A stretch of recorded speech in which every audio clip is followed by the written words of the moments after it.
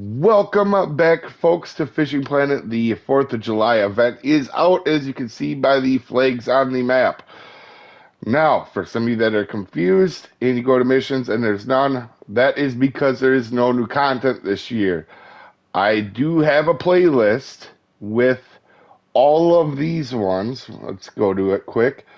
All of these right here that we have 11 days for, I have all these done in a playlist for you guys in order. I will leave in a pinned comment down below uh, for you guys, so make sure you look at that. Obviously, I'll double be double checking, make sure all the information is exactly the same as it was last year. They generally, when they don't have a new update, everything is exactly the same.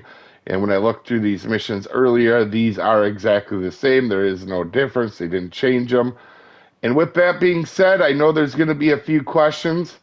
Um, in the shop is where you can get the lures besides getting them at the cannons and stuff at the lake. We'll go show you that real quick.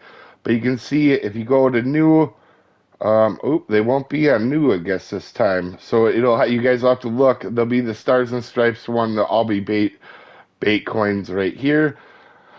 And we will go to lake so you can see how you get them at the lake. Um, but guys, uh, for those of you that are going to be uh, not happy about no new stuff for this uh, lake, keep in mind it probably means we're within a month or so of the new lake. That means they probably been just working really hard on the new waterway. I don't know that for sure. I'm just going off of past history. Normally, when there's not a new event, there's a lot of other new content coming soon.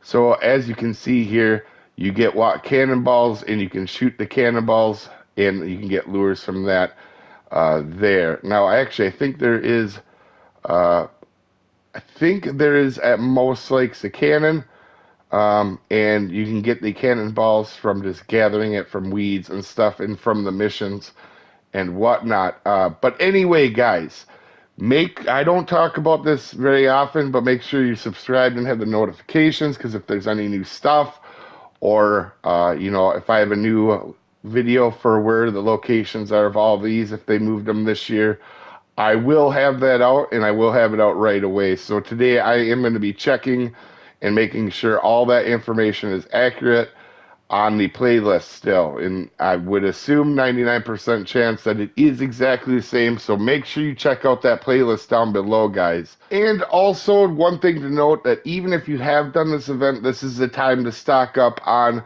your flag stuff because these are arguably the best lures in the game. They they rival the X series gear. A lot of these, like the Liberty Spoon or the Patriot Walker or the Stars and Crankbait, you're going to want to save up on these. Uh, and they are very good lures. Anyway, you guys have an amazing day, and I'll see you next time, folks. Have a good one.